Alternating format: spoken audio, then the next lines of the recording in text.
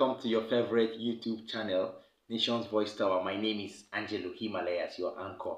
Today, I have two trending videos for you, and um, I bet you what, you're going to enjoy these videos, of course, um, if you've been following the trend of events. Yes, um, it's another edition of What's Trending today, and uh, I, I know you are also glued to your screen waiting for me. Listen, let me tell you something very, very important.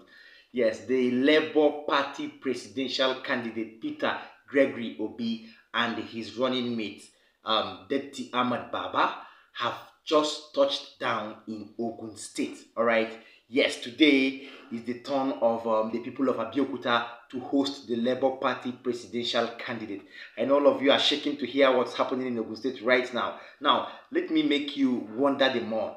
Well, um, uh, Obi or Peter Obi confirmed um, his um, arrival in Ogun State through his uh, via his um, official Twitter handle when um, he wrote uh, he said let me quote him okay let me quote him. He said um, we just arrived in Abeokuta Ogun State for today's rallies and other engagements. I am looking forward to it all.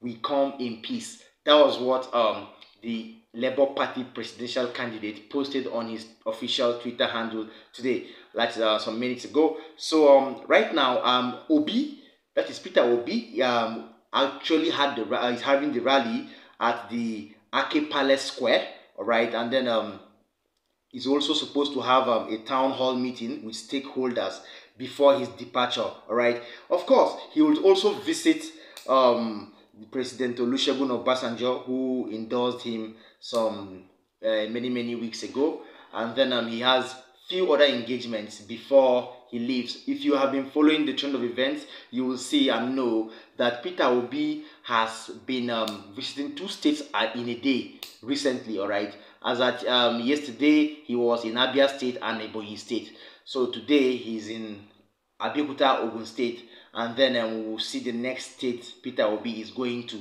That is that for the first video. If you see the massive crowd that received Peter Obi in Abeokuta, you will be shocked. You will think he's a Yoruba man.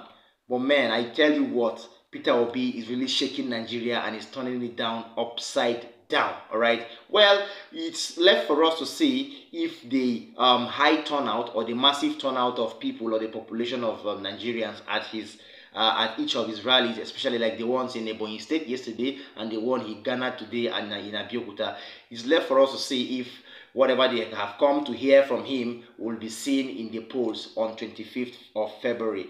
The next video is an analytical video that is coming from Arise News. All right. Now, Arise News have come out to really make an analysis of um, what um, Nasir El-Rufai said days ago. All right. Yes. Now, um, if you've been following the trend of events, Nasir El-Rufai uh, came out some days ago. I brought you an update and made um, some funny comments, especially um, about what the president feels, and then um, about Peter Obi calling him a Nollywood actor, and then um, Nasir El Rufai still went further to express um, what he, what I could term as fear over what the Labour Party presidential candidate has been up to. Okay, and um, he also expressed his own um, portion of um, his perception on um, the extension of the um, um, submission of old Naira notes and the new Naira notes. Now, talking about this particular um, incident or this uh, the, the just trended video of Nasir El Rufai is a spokesperson of the Atiku Presidential uh, Campaign Council, Daniel Bwala. Yes, if you've been following trending videos and if you've been following politics all around Nigeria recently, you would know Daniel Bwala as one of the spokespeople or spokespersons of the um, Atiku Presidential Campaign Council. Now, um, first of all, let us look at um, the video of Peter Obi in Abeokuta and see the massive love he garnered from the people of Abeokuta at the Ake um, market, uh, at the Ake Palace Square. I beg your pardon. Watch it and enjoy the arrival of the Labour Party presidential candidate and his entourage. I'll be back. Gbogbo àwọn tá a wà ní sẹ́kẹ̀kẹ̀ wọlé sínú omi tá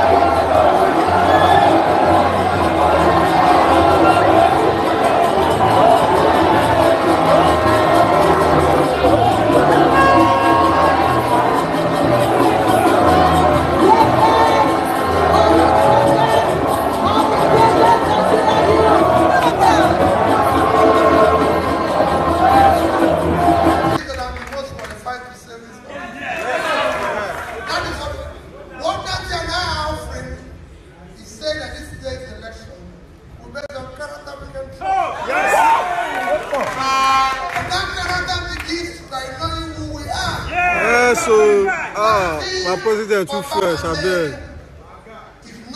everybody. Um, that was um, Peter Obi. Of course, Nigerians are not only clamoring for good governance, Nigerians are not only clamoring for a good government, neither are Nigerians only clamoring for um, a revolution, okay? Um, well, someone said to me yesterday in an interaction that, um, well, he is voting, he is planning to vote Peter Obi, even if not for any reason. He said um, he's planning to vote him because he is a new person to that seat, all right? He said they've heard a lot about Tinubu, they've seen enough of um, Atiku Abubakar, and then they are going to try a new person, which is Peter Obi. So that is his own opinion. People tend to um, um, kind of transfer the massive love they've got for uh, other presidential candidates to uh, the Labour Party presidential candidate Peter Obi.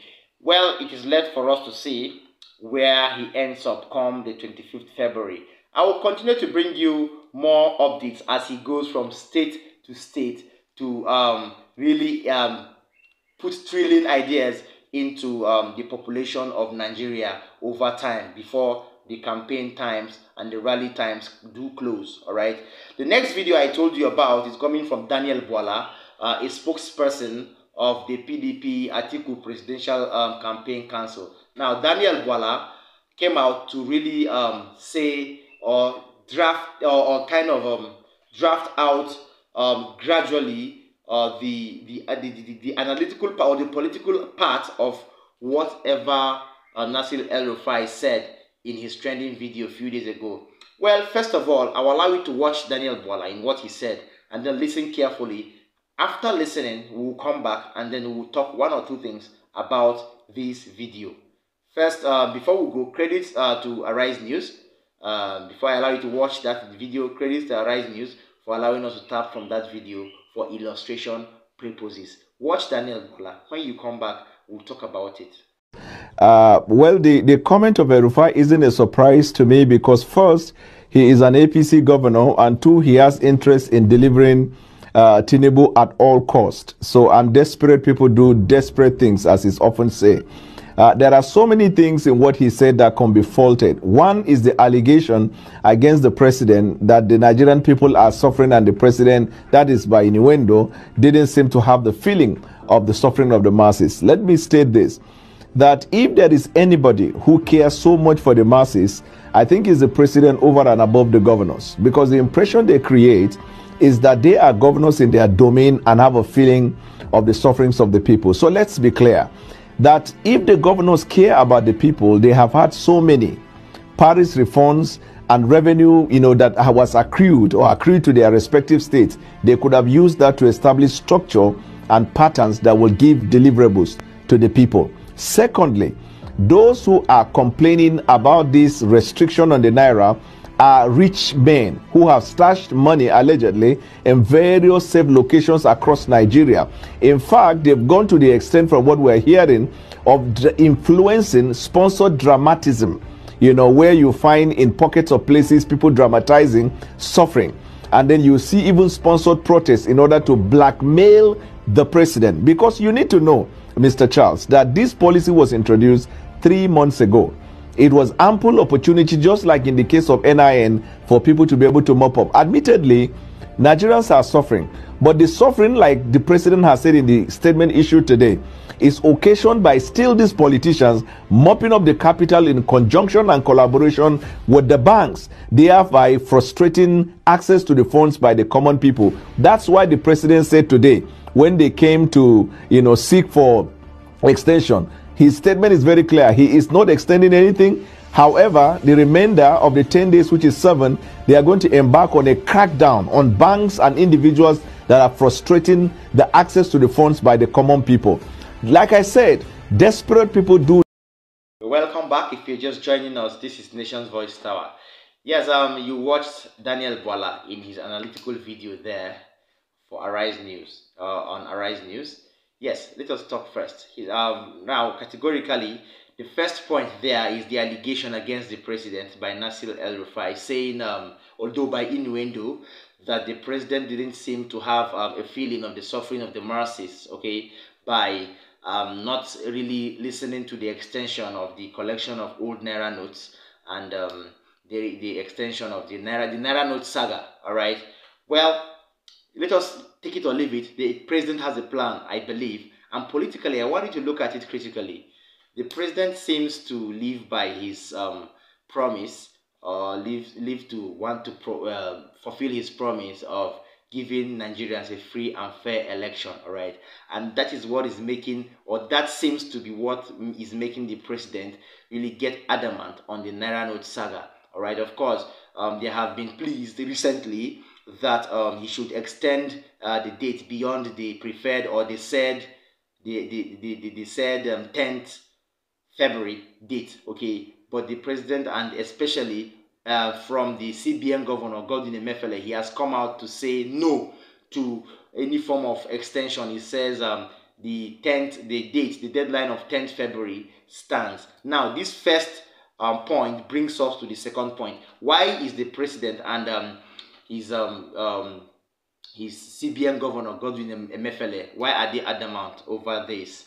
Now that brings us to the second point. Now, those complaining about the naira are rich money bags, rich politicians, rich people that have stocked up funds and are afraid to lose it. Okay? Yes, they, have, they are afraid to lose it. Why? I think, let me bring your mind a little bit uh, down to the political aspect of this whole thing. I think the president is trying to um, curb vote buying in a way. All right. Yes, the president is trying to curb vote buying in a way uh, because um, during the elections, when you leave a kind of massive flow of cash, then there will be um, a high level of vote buying. Okay, but when this particular um, money that people have has been rendered useless, that means um, you will no longer be able to cash in on big amounts of money during the elections, and then vote buying will be kind of um, negative all right or will be subsidized subsidized. Of course of course.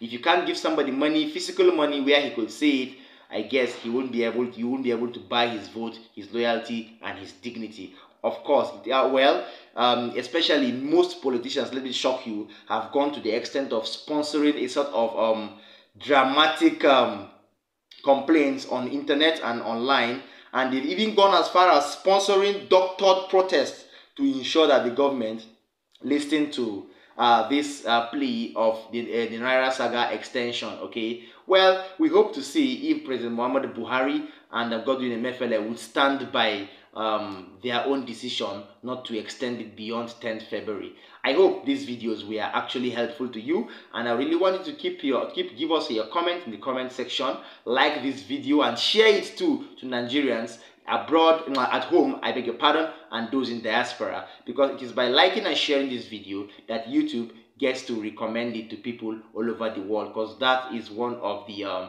uh, theories or that is one of the uh, um, that is one of the rules of youtube okay? Please don't get away from nation's voice tower. We thank you for your patronage over time and we'll always bring you the best. From us here we're drawing the curtain. Peace out